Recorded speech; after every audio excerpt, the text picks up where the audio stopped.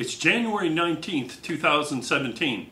This is Journal TV and I'm Jerry Clark. The Clifton Forge Town Council held a work session last Tuesday and thoroughly discussed how it performed with respect to a wide range of goals that it set for the previous year.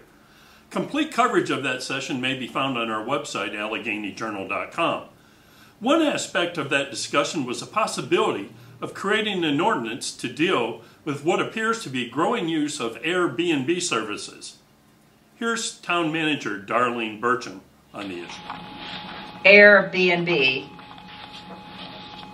ordinance that would allow us to capture the lodging tax from those homes that are now listing themselves on the Airbnb website. Um, and we had identified that uh, several homes here in town were in fact participating in that.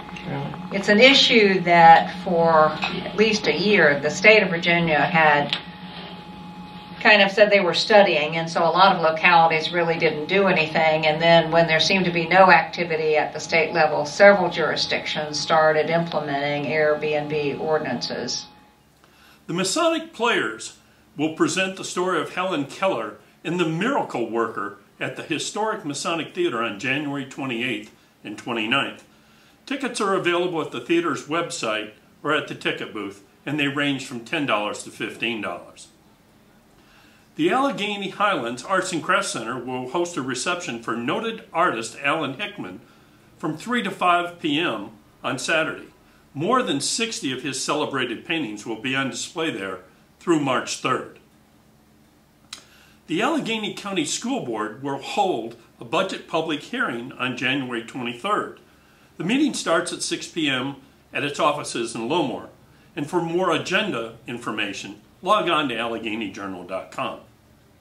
And in other news, a Maryland professor will speak at W&L on February 2nd on the topic of digital traces that people live, leave behind. Footprints in the digital dust, how your online behavior says more than you think, is the full subject. The lecture begins at 5 p.m. at the Stackhouse Theater.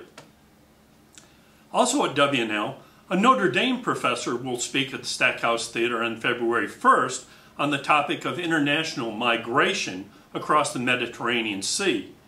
Mr. Albahari will discuss in detail how some European nations are handling the influx of refugees. And finally, yet another neat W&L exhibition will begin on January 26 at the Williams School of Commerce. Stephanie Sandberg's Stories in Blue is based on real life stories of six human trafficking victims all dealing with modern day slavery. And now it's time for local obituaries. Joanne Hopkins of Daleville died on January 18th. Her funeral is set Saturday at the Nicely Funeral Home. Colton Stoll of Covington died at the age of 76 last Tuesday. His funeral was set Friday evening at the Arritt Funeral Home.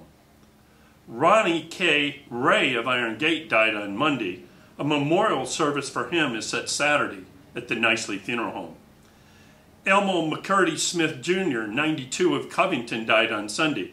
A graveside service in his honor was held Thursday. David H. Allen of Goodview died Thursday, January 12th. His funeral was held this past Monday. Keith H. Simmons, 85 of Clifton Forge, died January 9th. A graveside service in his honor was held last week. For any obituary information, just log on to AlleghanyJournal.com. There's also a search function there. Now for some weather. Rain's likely to begin about 4 a.m. with a high of about 59 and a low of 48. And on Saturday, it looks like it's going to clear up with a high of 65 and a low of about 53. And remember, for more details on these and other stories, including more videos and other neat notes, just log on to AlleghanyJournal.com. And that's the way it is in Alleghany County, Virginia, on Thursday, January 19, 2017. Thanks for watching Journal TV.